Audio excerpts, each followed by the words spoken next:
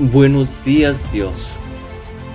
Reflexión del Evangelio del Día por Monseñor Luis José Rueda Aparicio, arzobispo de Bogotá y primado de Colombia.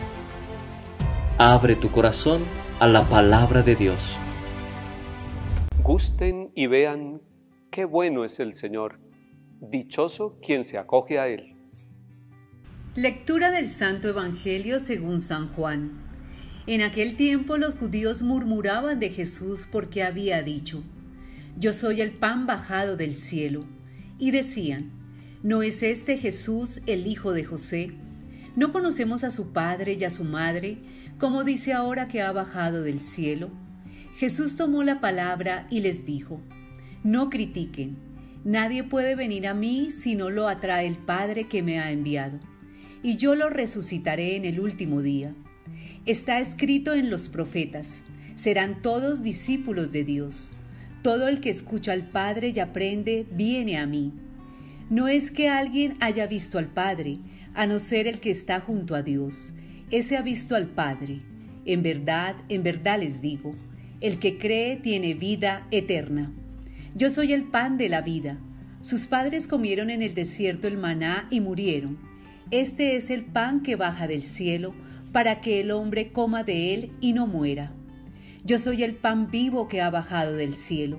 El que coma de este pan vivirá para siempre. Y el pan que yo daré es mi carne por la vida del mundo. Palabra del Señor. Hemos vuelto a escuchar una parte del capítulo 6 de San Juan. Y así lo haremos durante estos domingos. Recuerden ustedes que tenemos una tarea bíblica que es tomar el capítulo 6 de San Juan completo y leerlo despacio, subrayando las palabras, encontrándonos con Jesús y seguramente va a hacer eco en el corazón suyo y de su familia esa palabra de Jesús. Yo soy el pan vivo bajado del cielo. ¿Qué significa eso? Pan vivo.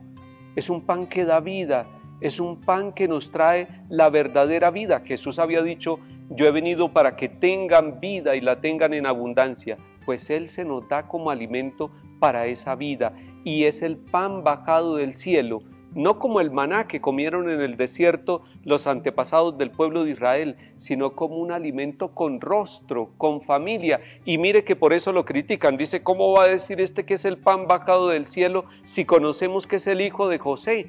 Y dirían, él está allí en un taller, está en un hogar con María en Nazaret, conocemos sus familiares, ¿cómo va a decir que bajó del cielo? Pero es que el cielo se hizo cercano en una familia, el cielo se hizo cercano en el vientre de una mamá, el cielo se hizo cercano en un taller de carpintería en Nazaret.